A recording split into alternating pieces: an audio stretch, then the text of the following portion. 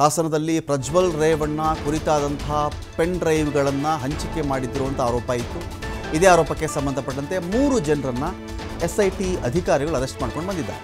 ನವೀನ್ ಗೌಡ, ಚೇತನ್ ಗೌಡ, ಶ್ಯಾಮ್ ಈ ಮೂರು ಜನರ ಬಂಧನ ಆಗಿದೆ. ಹೈಕೋರ್ಟ್ಗೆ ಜಾಮೀನು ಪಡ್ಕೊಳ್ಬೇಕು ಅಂತೇಳಿ ಬಂದಿದ್ದರು ಮೂವರು ಕೂಡ. ಹೈಕೋರ್ಟ್ನಲ್ಲಿಯೇ ಮೂವರು ಆರೋಪಿಗಳನ್ನು ಅರೆಸ್ಟ್ ಮಾಡಲಾಗಿದೆ.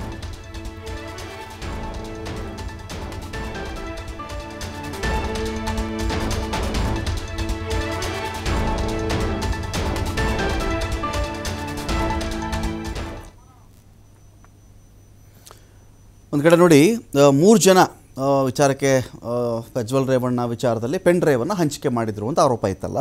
ಈ ಒಂದು ಮೂರು ಜನರನ್ನು ಎಸ್ ಐ ಡಿ ತಂಡದ ಅಧಿಕಾರಿಗಳು ಹುಡುಕಾಡ್ತಾ ಇದ್ದರು ನವೀನ್ ಗೌಡ, ಚೇತನ್ ಗೌಡ ಮತ್ತು ಶ್ಯಾಮ್ ಅಂತ ಹೇಳಿ. ಇದೀಗ ಮೂವರನ್ನು ಕೂಡ ಅರೆಸ್ಟ್ ಮಾಡಲಾಗಿದೆ.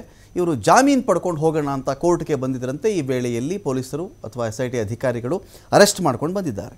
ಹಾಸನ ಜಿಲ್ಲೆಯಲ್ಲಿ ಪ್ರಜ್ವಲ್ ರೇವಣ್ಣ ಕುರಿತಾದದ್ದು ಎನ್ನಲಾದಂತಹ ಅಶ್ಲೀಲ ವಿಡಿಯೋಗಳಿದ್ದ ಪೆನ್ ಡ್ರೈವನ್ನು ಇವರೆಲ್ಲ ಹಂಚಿದ್ರು ಅಂತ ಇವ್ರ ಮೇಲೆ ಇರತಕ್ಕಂಥ ಆರೋಪ.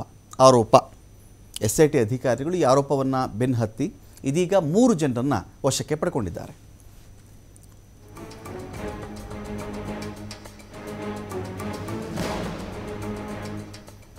ಇಟ್ಟಿಸ್ಕೊಳ್ಳೋಕ್ಕೆ ಇದೀಗ ಸಂತೋಷ ಇದ್ರೆ ಸಂತೋಷ.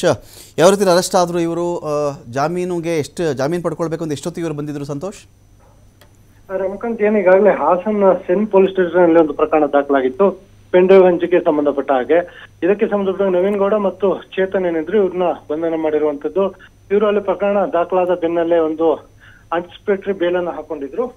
ಸೊ ಆ ಬೇಲ್ನ ಅನ್ವಯ ಅವರು ಇವತ್ತು ಜಾಮೀನು ಪಡೆದುಕೊಳ್ಳಿಕ್ಕೆ ಅಂತ ಹೇಳಿ ಹೈಕೋರ್ಟ್ ಕೂಡ ಬಂದಿದ್ರು. ಈ ಬಗ್ಗೆ ಮಾಹಿತಿನ ಕಲೆ ಹಾಕಿದ ಎಸ್ ಐ ಟಿ ಅಧಿಕಾರಿಗಳು ಸದ್ಯ ಇಬ್ಬರನ್ನು ಕೂಡ ಬಂಧನವನ್ನು ಮಾಡಿರುವಂತದ್ದು ಬಂಧನವನ್ನು ಮಾಡಿ ವಿಚಾರಣೆಗೆ ಮುಂದಾಗಿರುವಂತದ್ದು ಸೊ ಇದೀಗ ಅವ್ರನ್ನ ವಶಪಡಿಸಿಕೊಂಡಿರೋ, ಬಂಧನ ಮಾಡೋದ್ರ ಬೆನ್ನಲ್ಲೇ ಕೋರ್ಟ್ಗೆ ಕೂಡ ಇವರು ಮಾಹಿತಿಯನ್ನು ಕೊಡ್ಬೇಕಾಗುತ್ತೆ. ಯಾಕಂತ ಹೇಳಿದ್ರೆ, ಅವ್ರದ್ದು ಜಾಮೀನು ಅರ್ಜಿ ವಿಚಾರಣೆ ಇರೋ ಹಿನ್ನೆಲೆಯಲ್ಲಿ, ನ್ಯಾಯಾಲಯಕ್ಕೆ ಈ ಮಾಹಿತಿಯನ್ನು ಕೊಟ್ಟು ಅವ್ರನ್ನ ಬಂಧನ ಮಾಡಿರುವ ಹಿನ್ನೆಲೆಯಲ್ಲಿ ಅವರ ಜಾಮೀನು ಅರ್ಜಿ ವಜಾ ಆಗುವ ಸಾಧ್ಯತೆ ಇರುತ್ತೆ. ಹೀಗಾಗಿ ಈಗ ಅವ್ರನ್ನ ಬಂಧಿಸಿ ಮೆಡಿಕಲ್ ಮಾಡಿ ನ್ಯಾಯಾಲಯಕ್ಕೆ ಹಾಜರುಪಡಿಸುವ ಮುಖಾಂತರ ಅವ್ರನ್ನ ಬಂಧನ ಮಾಡೋದ್ರ ಬಗ್ಗೆ ನ್ಯಾಯಾಲಯಕ್ಕೆ ಒಂದು ಮಾಹಿತಿಯನ್ನು ಕೊಡುವಂತದ್ದು ಕೊನೆಗೆ ಏನು ಈಗಾಗಲೇ ಈ ಹಿಂದೆ ಎಚ್ ಡಿ ಕುಮಾರಸ್ವಾಮಿ ಸೇರಿದಂತೆ ಇತರರು ಕೂಡ ಆರೋಪವನ್ನು ಮಾಡಿದ್ರು.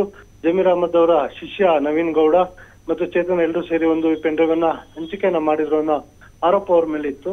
ಸೊ ಹೀಗಾಗಿ ಸದ್ಯ ಅವ್ರನ್ನ ಬಂಧನ ಮಾಡುವ ಮುಖಾಂತರ ಇಷ್ಟು ದಿನ ಏನು ಯಾರು ಪೆಂಡ್ರೈವ್ ಹಂಚಿಕೆ ಮಾಡಿದವ್ರನ್ನ ಬಂಧನ ಮಾಡಿಲ್ಲ ಅಂತ ಏನು ಆರೋಪಗಳಿತ್ತು ಅದಕ್ಕೆ ಎಸ್ ಐ ಟಿ ಅಧಿಕಾರಿಗಳು ತೆರೆ ಎಳೆದಿರುವಂತದ್ದು ರಮಕಾಂತ್ ಅಂದ್ರೆ ಈಗ ಈ ಮೂವರ ಮೇಲೆ ಪೆನ್ ಡ್ರೈವ್ ಹಂಚಿಕೆ ಬಿಟ್ರೆ ಬೇರೆ ಯಾವುದು ಕೇಸ್ ಇಲ್ವಾ? ಸದ್ಯ ಇಲ್ಲಿ ಆರಂಭದಿಂದ ಅಂತ ಆ ಪೆನ್ ಡ್ರೈವ್ ಹಂಚಿಕೆಯನ್ನ ಮಾಡಿದಂತವ್ರು ಯಾರು ಅನ್ನೋದು ಇಲ್ಲಿ ಪ್ರಶ್ನೆ ಇತ್ತು. ಅದನ್ನ ವಿಡಿಯೋ ತೆಗೆದುಕೊಂಡವ್ರು ಯಾರು? ಒಂದು ಕಡೆ. ಅದನ್ನ ಲೀಕ್ ಮಾಡಿದವ್ರು ಯಾರು? ಪೆನ್ ಡ್ರೈವ್ ಹಾಕ್ದವ್ರು ಯಾರು? ಪೆನ್ ಡ್ರೈವ್ ಹಂಚಿಕೆ ಮಾಡಿದವ್ರು ಯಾರು? ಈಗ ಹಲವು ಆಯಾಮದಲ್ಲೂ ಕೂಡ ಎಸ್ ಐ ಟಿ ಅಧಿಕಾರಿಗಳು ತನಿಖೆಯನ್ನು ಮಾಡ್ತಾ ಇರುವಂತದ್ದು ಪ್ರಮುಖವಾಗಿ ನವೀನ್ ಗೌಡ ಮತ್ತು ಚೇತನ್ ನಿಂತು ಇದರಲ್ಲಿ ಪೆನ್ ಡ್ರೈವ್ ಹಂಚಿಕೆ ಮತ್ತು ಪೆನ್ ಡ್ರೈವ್ಗೆ ಈ ವಿಡಿಯೋಗಳನ್ನ ಹಾಕಿ ಪೆನ್ ಡ್ರೈವ್ ಮುಖಾಂತರ ಎಲ್ಲರಿಗೂ ಕೂಡ ಹಂಚಿಕೆಯನ್ನು ಮಾಡಿದ್ದು ನವೀನ್ ಗೌಡ ಅನ್ನೋ ಆರೋಪ ಕೇಳಿ ಬಂದಿತ್ತು. ಸೊ ನವೀನ್ ಗೌಡ ಕೂಡ ರಾಜಕೀಯ ಮುಖಂಡರುಗಳ ಜೊತೆ ಜಮೀರ್ ಅಹಮದ್ ಸೇರಿದಂತೆ ಇತರ ಜೊತೆ ಕಾಂಗ್ರೆಸ್ನ ಆತ ಆ, ಕಾರ್ಯಕರ್ತ ಕೂಡ ಆಗಿದ್ದ ಅನ್ನೋ ಆರೋಪ ಇರುವಂತದ್ದು. ಸೊ ಆತ ಗುರುತಿಸ್ಕೊಂಡಿದ್ದ. ಆತ ಪ್ರಮುಖವಾಗಿ ಈ ಪ್ರಜ್ವಲ್ ರೇವಣ್ಣ ಲೈಂಗಿಕ ದೌರ್ಜನ್ಯ ಪ್ರಕರಣಕ್ಕೆ ಸಂಬಂಧಪಟ್ಟ ಅಶ್ಲೀಲ ವಿಡಿಯೋಗಳೇನಿತ್ತು ಇವೆಲ್ಲಾ ವಿಡಿಯೋಗಳನ್ನು ಆತನೇ ಪೆಂಡ್ರೈವ್ಗೆ ಹಾಕಿ ಹಂಚಿಕೆಯನ್ನ ಮಾಡಿದ್ದಾನೆ ಅಂತ ಹೇಳಿ ಆತನ ಮೇಲೆ ಸದ್ಯ ಇರುವಂತ ಆರೋಪ. ಆ ಆರೋಪದಡಿ ಬಂಧನ ಮಾಡಿರುವಂತದ್ದು. ಬಂಧನದ ಬಳಿಕ ಇವರು ಅದಕ್ಕೆ ಒಳಸಂಚು ಮಾಡಿದ್ರ ಇವ್ರಿಗೆ ಯಾರೆಲ್ಲ ಕೈ ಜೋಡಿಸಿದ್ರು ಪೆಂಡ್ರೈವ್ಗಳನ್ನು ತೆಗೆದುಕೊಟ್ಟವ್ರು ಯಾರು ಎಷ್ಟು ಪೆಂಡ್ರೈವ್ ಹಂಚಿಕೆನ ಮಾಡಲಾಯ್ತು ಆ ಪೆಂಡ್ರೈವ್ ಎಲ್ಲಿ ವಿಡಿಯೋಗಳನ್ನ ಹಾಕಲಾಯಿತು ಲ್ಯಾಪ್ಟಾಪ್. ಮುಖಾಂತರ ಹಾಕಲಾಯ್ತಾ ಬೇರೆ ರೀತಿ ಎಲ್ಲಾದ್ರೂ ತೆಗೆದುಕೊಂಡು ಆ ಇವ್ರಿಗೆ ಹಾಕಿ ಪಂದ್ಯಗಳನ್ನು ಕೊಟ್ಟರೆ ಈ ಆಯಾಮದಲ್ಲಿ ತನಿಖೆ ನಡೆಯುವಂತದ್ದು ರಮಕಾಂತ್. Thank you Santosh.